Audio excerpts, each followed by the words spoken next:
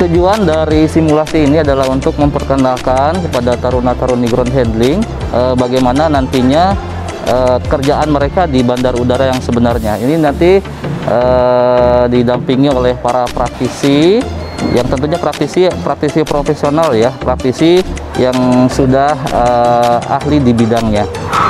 Diharapkan eh, nantinya pada saat mereka di bandara atau kerja di bandar udara mereka sudah tidak canggung lagi untuk eh, melaksanakan pekerjaan mereka.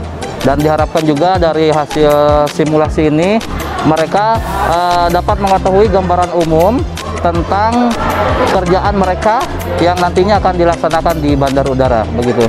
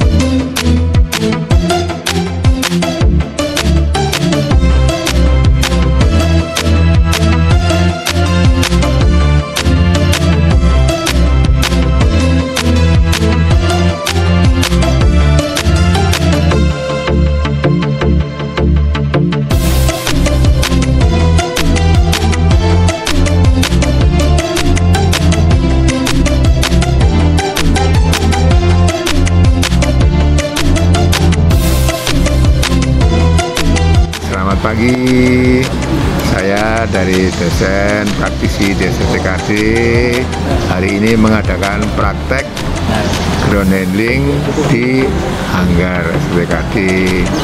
Tapi kegiatannya adalah satu check-in untuk eh, menangani penumpang yang check-in, kemudian untuk menangani penumpang yang akan masuk ke waiting room yang ada dengan pemeriksaan ASEK. Dan ketiga adalah pengenanganan penumpang di boarding gate. Bagaimana cara boardingnya, bagaimana pengamanannya di waktu boarding, ceknya dan board, ya, waktu boarding. Kemudian juga ada eh, praktek untuk di atas, bagaimana penumpang supaya duduk di pada kursinya yang sesuai dengan boarding pass yang ada. Ya, mudah-mudahan semuanya lancar untuk kita bisa laksanakan di uh, selanjutnya. Terima kasih.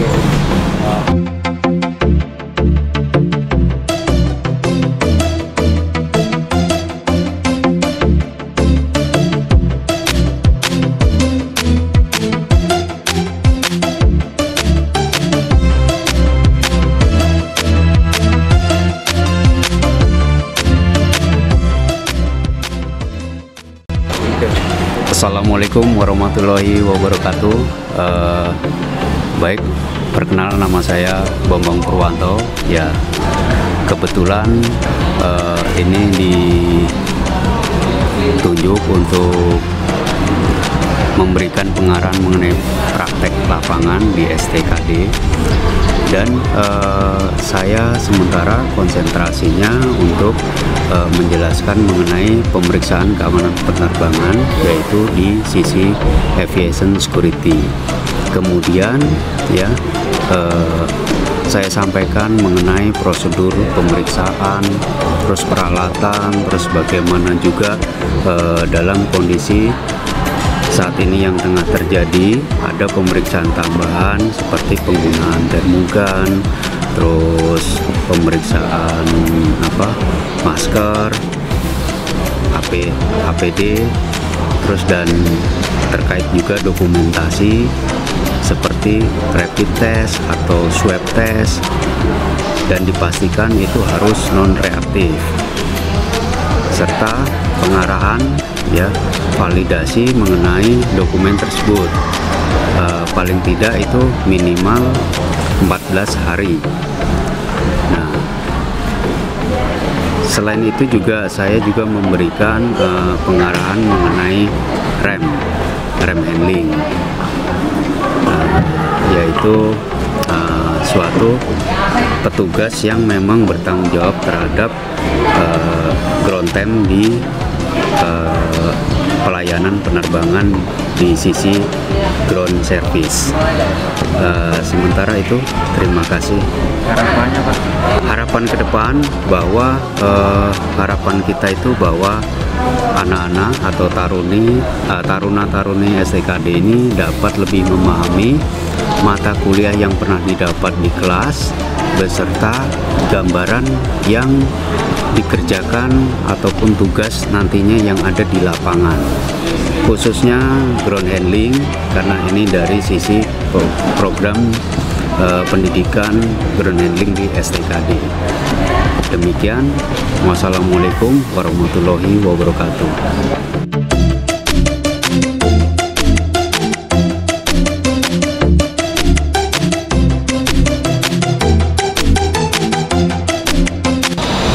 Jadi hari ini kita dari Prodi Ground Handling sedang melakukan simulasi dan hari ini kebetulan saya di bagian check-in counter kita diajarin bagaimana cara melayani penumpang dari awal keberangkatan. Dengan diadakannya simulasi ini, kita berharap bagaimana kita bisa lebih paham tentang kebendaraan, tentang awal dari mulai keberangkatan, di bagian boarding gate, di bagian ruang tunggu hingga keberangkatan.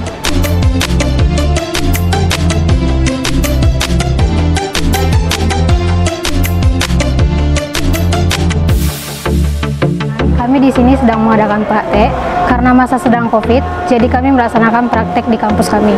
Nah, kebetulan saya tadi mendapat praktek di area rem. Saya tadi belajar dari area rem adalah cara mengisi formulir dan bagaimana pesawat itu mulai dari block off sampai dengan block on.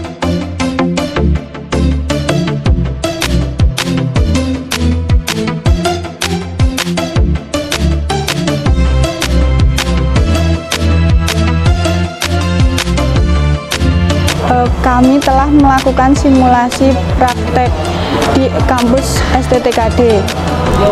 Kebetulan saya mendapatkan bagian pada check-in counter. Di check-in counter saya mendapatkan ilmu tentang pengisian form bagasi dan juga penumpang. Kemudian berkas-berkas itu kami serahkan kepada bagian boarding gate.